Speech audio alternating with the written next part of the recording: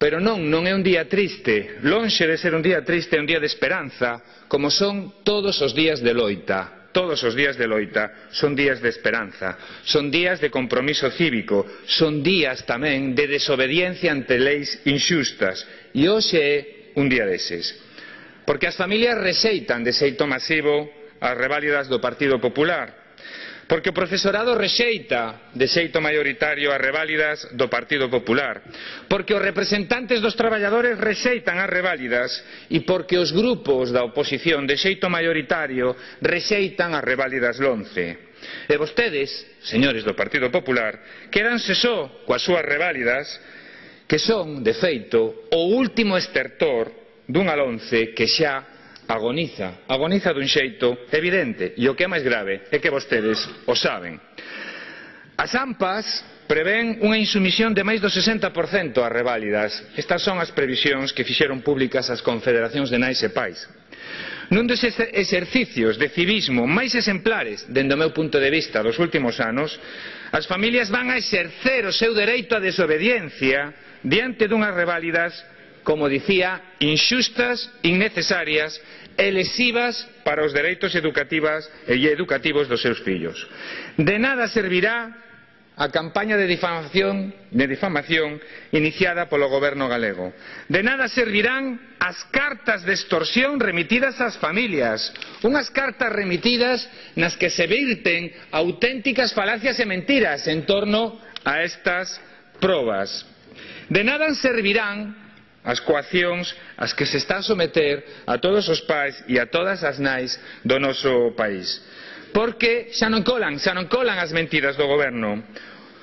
Os centros xa están a avaliar, avalían todos os días e as familias saben que os seus fillos e as súas fillas teñen a sorte de contar cun profesorado que asume un modelo de avaliación formativa inicial, continua e final, realizada de xeito sistemático, informando puntualmente as familias, non só nos boletíns trimestrais, senón tamén en todas aquelas entrevistas personalizadas que se realizan ao longo de todo o curso. Saben as familias que as reválidas non sirven para outra cousa que para clasificar os rapaces someténdoos a probas estandarizadas cun fin meramente estatístico. Esta é a realidade, esta é a realidade que coñecen as familias, evidentemente. Saben tamén as familias que as reválidas non formarán parte do expediente académico dos alumnos. Polo tanto, saben que é algo inútil, pero tamén saben que sí formará parte dos expedientes da Xunta. Saben que a Xunta vai crear un ficheiro cos seus resultados e sabe tamén que esos ficheiros van a contar e a, co e a conter datos absolutamente persoais. O saben? Saben que non forman parte do plan xeral de avaliación estas reválidas e, polo tanto, teñen moi claro que non poden ser obrigadas as familias a someter os seus fillos a este estrés absolutamente innecesario. Saben que o goberno minte, saben que poden exercer o seu dereito e a súa patria potestade na defensa, dende logo, dos intereses dos seus fillos, non dos intereses deste goberno.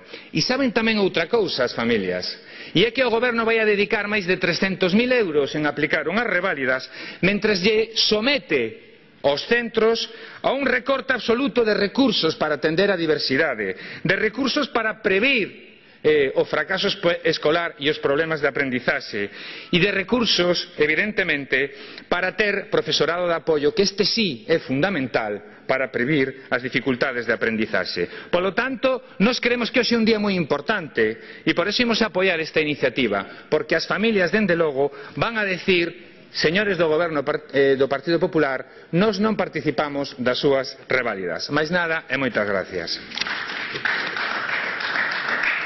Gracias, señor Vázquez.